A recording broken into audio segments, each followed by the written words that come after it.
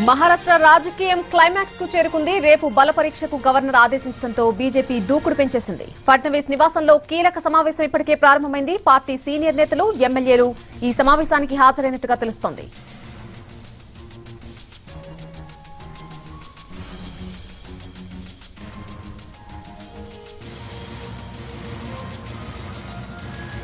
మరోవైపు శివసేన రెబల్ ఎమ్మెల్యేలు మకా మార్చేశారు. రేపు అసెంబ్లీలో బల నిరూపణకు గవర్నర్ ఆదేశించడంతో గౌహతి నుంచి గోవాకు షిఫ్ట్ అయిపోయారు. ప్రత్యేక విమానంలో బయలుదేరారు ఎమ్మెల్యేలంతా కూడా. గోవాలో ఇప్పటికే హోటళ్ళను బుక్ చేశారు రెబల్ నేతలు. రేపు ముంబైకి చేరుకుంటామని అన్నారు ఏక్నాథ్ షిండే. ముంబై రాకుండా తమను ఎవ్వరూ అడ్డుకోలేరని చెప్పారు షిండే. कल पहुँचेंगे। कल कल हम लोग मुंबई में पहुँचेंगे। सभी विधायक हमारे मुंबई में पहुँचेंगे। जो भी हाँ? आ, आ, आपको मालूम है आपको पता है हमारे पास हमारे पास 50 लोग हैं। 40 प्लस 10 ये 50 लोग और अभी देखिए आप मतलब हम लोग मेजोरिटी में है। टू थर्ड से ज़्यादा मेजोरिटी हमारे शिवसेना गढ़ के पास है। शिवसेना गढ़ के पास है और इसलिए हम हमें कोई भी फ्लोर टेस्ट की चिंता नहीं है। फ्लोर टेस्ट भी होगी जो भी प्रक्रिया होगी उसमें पूरी तरह हम लोग पास हो जाएँगे। हमें कोई भी रोक नहीं सकता क्योंकि डेमोक्रेसी में नंबर और मेजोरिटी को बहुत इम्पोर्टेंस होता है। इस दे, इस देश में कॉन्स्टिट्यूशन और कानून और रूल्स इसके आगे किसी को जा,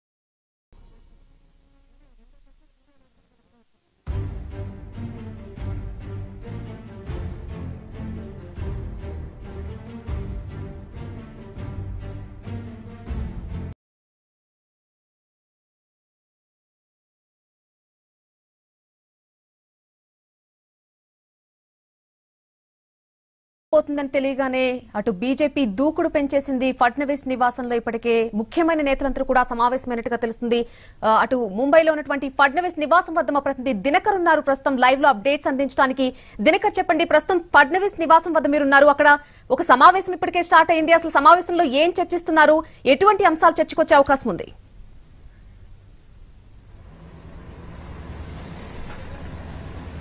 ఉదయం పది గంటల నుంచి కూడా విడతల వారీగా ఫడ్నవీస్ దేవేంద్ర ఫడ్నవీస్ సమావేశం జరుగుతూనే ఉంది. దాదాపు మహారాష్ట్రలో ఉన్నటువంటి బీజేపీ కీలకమైనటువంటి నాయకులతో పాటు మహారాష్ట్ర పార్టీ బీజేపీ అధ్యక్షుడు కూడా చంద్రకాంత్ పాటిల్ వీళ్ళంతా కూడా క్రోడీకరిస్తూ కూడా ఒక సమావేశం జరుగుతున్నటువంటి పరిస్థితి ఉంది.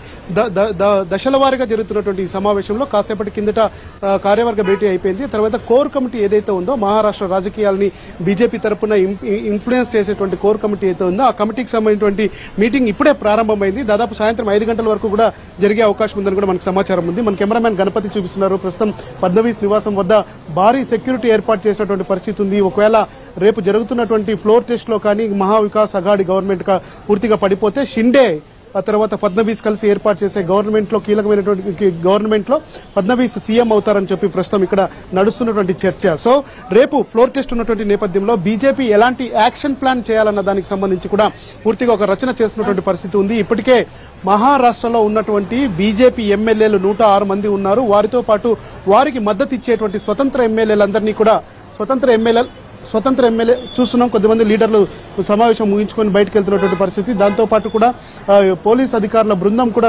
లోపల ప్రత్యేక సెక్యూరిటీ ఏర్పాటు చేశారు. దాంతోపాటు మొత్తం నూట ఆరు మంది ఎమ్మెల్యేలు బీజేపీకి ఉన్నారు. బీజేపీ వారందరినీ కూడా కాపాడుకునే ప్రయత్నం కాదు. వారందరినీ జాగ్రత్త పరుస్తున్నటువంటి పరిస్థితి.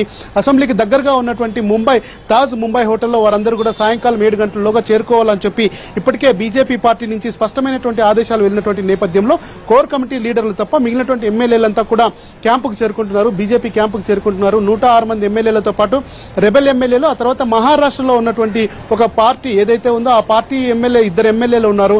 జనప్రహార్ శక్తి ఈ రెండు ఎమ్మెల్యేలు ఈ ఇద్దరు ఎమ్మెల్యేలు కూడా అదే క్యాంపులో ఉన్నటువంటి పరిస్థితి. అలాగే మనం రెగ్యులర్గా చూసాం గత వారం అను హనుమాన్ చాలీసా విషయంలో నానా నానా విధ వివాదాస్పదమైనటువంటి రానాని నవనీత్ కౌర్ రానా రానా యొక్క నవనీత్ ఒక హస్బెండ్ హస్బెండ్ రానా కూడా రవి రానా కూడా ఉన్నారు. వాళ్ళు కూడా వీరికే మద్దతు ఇస్తున్నటువంటి పరిస్థితి. అంటే దాదాపు నూట ఆరు మంది ఎమ్మెల్యేలు ఉన్నా కానీ షిండే వర్గం ఎమ్మెల్యేలతో కలిపి స్వతంత్ర ఎమ్మెల్యేలతో కలిపి నూట అరవై రెండు మందికి పైగా ఎమ్మెల్యేలు బీజేపీ వైపు వచ్చే అవకాశం ఉన్నటువంటి నేపథ్యంలో ఖచ్చితంగా రేపు ఫ్లోర్ టెస్ట్లో అనుసరించాల్సినటువంటి విధి విధానాలు ఏమున్నాయో అలాగే ఎవరెవరెవరిని ఎలా సేవ్ చేయాలా అన్న దాని మీద ఉంది. ముఖ్యంగా షిండే వర్గం ఇందాక గో- గోవాలో మాట్లాడడం మనం చూసాము.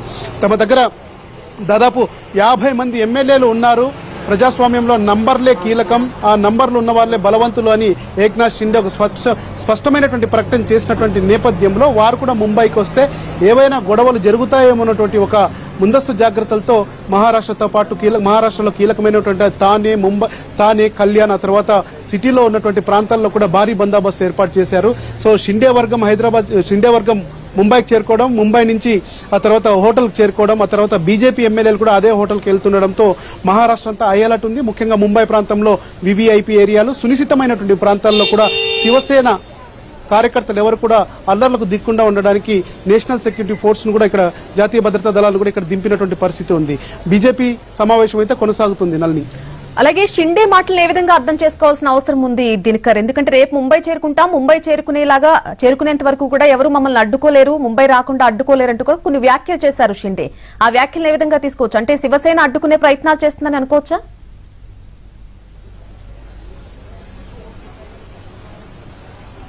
అంటే శివసేన ఎమ్మెల్యేల సంఖ్య బలహీనంగా ఉన్నా కానీ క్యాడర్ సంఖ్య మాత్రం భారీగా ఉంది. వారు ముందు నుంచి కూడా దాదాపు గత వారం రోజులుగా ఈ మహారాష్ట్ర పొలిటికల్ డ్రామా జరుగుతుంది. శివసేన కార్యకర్తలంతా కూడా షిండేని షిండేకి మద్దతు ఇస్తున్నటువంటి రెబల్ ఎమ్మెల్యేలని ఎంపీలని వ్యతిరేకిస్తున్నటువంటి పరిస్థితి ఉంది.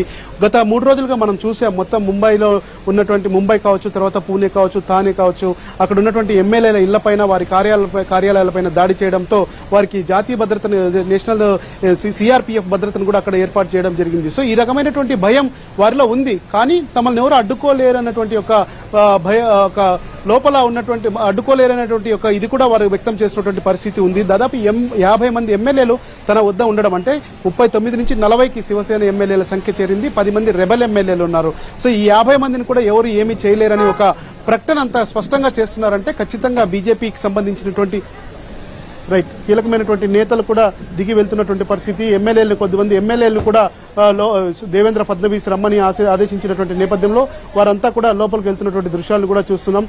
బీజేపీకి సంబంధించినటువంటి ఈ కీలకమైన సమావేశంలో కొన్ని నిర్ణయాలు తీసుకునే అవకాశం ఉంది. సాయంత్రం ఐదు నుంచి ఆరు గంటల వరకు ఎందుకంటే సుప్రీంకోర్టులో శివసేన వేసినటువంటి పిటిషన్ ఏదైతే ఉందో అది హియరింగ్ వచ్చే అవకాశం ఉన్నటువంటి నేపథ్యంలో కోర్టు మధ్యంతర తీర్పు ఏం చెప్తుందన్నది వెయిట్ చేసిన తర్వాతనే వారి యొక్క యాక్షన్ ప్లాన్ కూడా బయటపెట్టే అవకాశం ఉంది. షిండే కీలకంగా మారినటువంటి నేపథ్యంలో ఒకవైపు షిండేకు షిండే దగ్గర ఉన్నటువంటి ఎమ్మెల్యేలకు రక్షణ ఇవ్వాలని కూడా ఇప్పటికే గవర్నర్ ఇక్కడ ఉన్నటువంటి పోలీస్ కమిషనర్కి ముంబై సిటీ పోలీస్ డీజీపీకి ముంబై కమిషనర్ కూడా స్పష్టమైనటువంటి ఆదేశాలు ఇచ్చారు. సో బీజేపీ యాక్షన్ ప్లాన్ కావచ్చు ఆ తర్వాత షిండే షిండే యాక్షన్ ప్లాన్ కూడా కావచ్చు గోవా నుంచి ముంబైకి వచ్చేంత వరకు మాత్రం ఈ పొలిటికల్ డ్రామా మాత్రం మరింత రసవతరంగా మారే అవకాశం ఉంది. రేపు ఫ్లోర్ టెస్ట్లో కూడా వీరు ఎదురే పడినప్పుడు ఎలాంటి సంఘటనలు ఎదురవుతాయన్నది కూడా వెయిట్ చేయాల్సినటువంటి పరిస్థితి అయితే ఉంది. హైటెన్షన్ గత వారం రోజులుగా హైటెన్షన్ ఆ తర్వాత భారీ డ్రామా క్రియేట్ చేసినటువంటి మహారాష్ట్ర పొలిటిక్స్ రేపు లాస్ట్ రేపు ఈవినింగ్ ఐదు గంటల లోపల ఒక స్పష్టమైనటువంటి క్లారిటీ వచ్చే అవకాశం ఉంది. ఆ తర్వాత కూడా ఏదైనా విధ్వంసాలు జరగకుండా ఉండడానికి పోలీసులు ముందస్తు జాగ్రత్తలు చేస్తున్నారు. మరి శివసేన శివసేన ఎలా రియాక్ట్ అవుతుంది? కోర్టు తీర్పు తర్వాతనే సాయంత్రం నుంచి అసలు సిసలైనటువంటి మహాభారత్ పొలిటికల్ డ్రామా మహారాష్ట్ర నుంచి స్టార్ట్ అయ్యే అవకాశం అయితే ఉందని చెప్పవచ్చు Nalli over to you right Dinakar thanks for the live update